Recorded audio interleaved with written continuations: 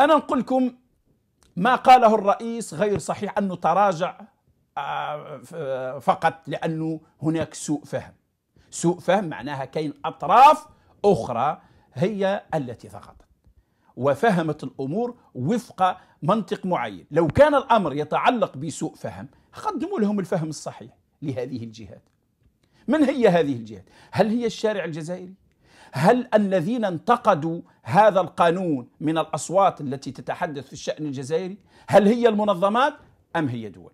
أجزم لكم بأن لو كان الأمر يتعلق بالناس اللي ينتقدوا في, في هذا القانون ما استمعوا إليهم أبدا بل الأمر يتعلق بدول. هناك دول ضغطت على الجزائر لسحب هذا المشروع. وأولهم فرنسا وثانيهم الولايات المتحدة الأمريكية. فرنسا لديها العديد من الجزائريين وأدركت يقينا أن إصدار مثل هذا القانون سيستهدف بعض الأطراف. وهنا في فرنسا طيار مثل الطيار الماك وهذه الجماعة لا يريد لا تريد السلطات الفرنسية والدوائر الفرنسية المغلق تجريدها من الجنسية. لذلك قامت بحمايتها. هذه بوضوح. وبعض الطيارات الأخرى. أفضلا أنها تدرك يقينا أن الجزائر إذا فتحت هذا الباب ستجرد الكثير من الجزائريين الموجودين على التراب الفرنسي من جنسيتهم. وبينهم من لا يحملون الجنسية الفرنسية. هم في محل إقامة فقط عندهم إقامة فقط. إذا جردتهم الجنسية الجزائرية سيشكلون هاجس لدى السلطات الفرنسية مضطرة هنا تعمل لهم قوانين خاصة أو تمنحهم الجنسية أو أشياء من هذا القبيل.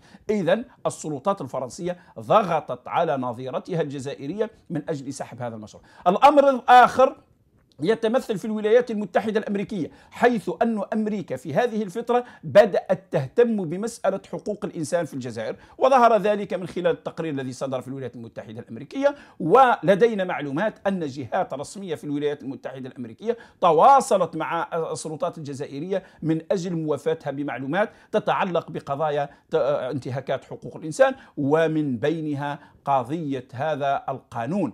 الذي رأت الولايات المتحدة الأمريكية أنه ربما تستهدف به أقليات دينية معينة في الجزائر أو الناشطين في هذه التابعين لهذه الأقليات الدينية في الخارج وخاصة الأقليات التي صارت نصرانية. وكما نعلم أنه الكثير من التقارير الأمريكية تحدثت عن حقوق الأقليات وحقوقها في الجزائر. إذا السلطات أو جهات فرنسية رسمية وجهات رسمية أمريكية هي التي ضغطت وأجبرت السلطات الجزائرية بإلغاء هذا القانون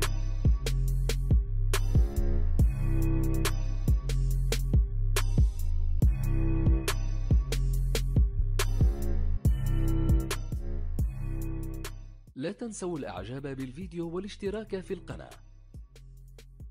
تشجيعا لنا لنستمر بنشر المزيد إن شاء الله.